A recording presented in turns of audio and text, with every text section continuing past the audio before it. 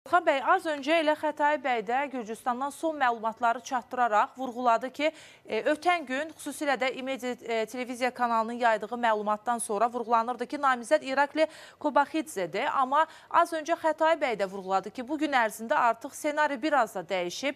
İvanaşvelinin, Bidzina İvanaşvelinin də namizəd ola biləcəyi e, önə çəkilir. Sizin fikrinizcə bu iki namizəddən hansı daha realdır və hazırda xüsusilə də İrakli Qaribaşvelinin bu addımı atmasının arxasında daha daha hansı məqamlar dayana bilər?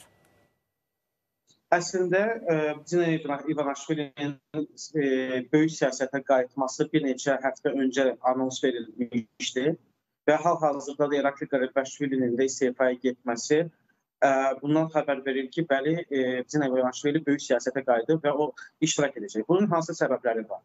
Bunun səbəblərinin əsas e, hissəsi bundan ibarətdir ki, Gürcüstan çox böyük seçim qarşısındadır. Bəli, Gürcüstan iqtisadi olaraq Avrasiya iqtisadi zonası ilə e, ticari dövriyyəsini çox böyük e, miqyasda artırıb və bunların içərisində xüsusilə də e, Ermənistanla ticarətdir, e, Qırğızstanla ticarət, yəni Gürcüstan Rusiya sanksiyaların bir növ dəf olunmasında yardımcı olur. E, və Cina İvanaşvili də bildiyimiz qədərilə e, Rusiyalı oliqarxdır. İkinci tərəfdən isə Avropa İttifaqı Gürcüstana namizədlik statusu verib.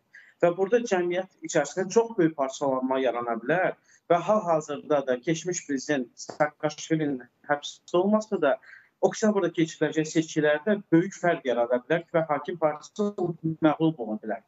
Belə olan halda birbaşa olaraq bizim Əliqnaşvinin siyasətə qayıtması öz bütün məsələləri öz əlinə alması demə, e, e, alması nəticəsində gətirib çıxardı.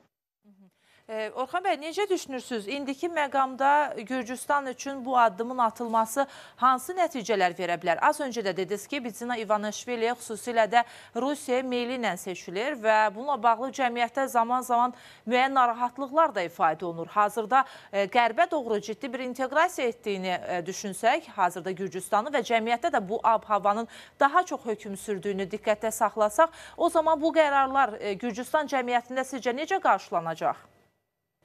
Eyni dərəcədə qarşılanacaq. Necə ki, e, keçən il ərzində Gürcüstan hakimiyyəti xarici agentlər haqqında qanun qəbul eləmək istədi və qərb yönümlü Avropa meyilli gənclik müxalif qüvvələr meydanlara çıxdılar və eyni zamanda Gürcüstan e, cəmiyyəti artıq özünü Avropanın bir hissəsi hesab edir və bəli düzdür, iqtisadi olaraq hələ də MDB-dən və Rusiyadan asılı olmasına baxmayaraq Gürcülər bunu e, gözünün qarşısına alırlar və istənilən halda ə, hakim partiyaya təpki göstərməyə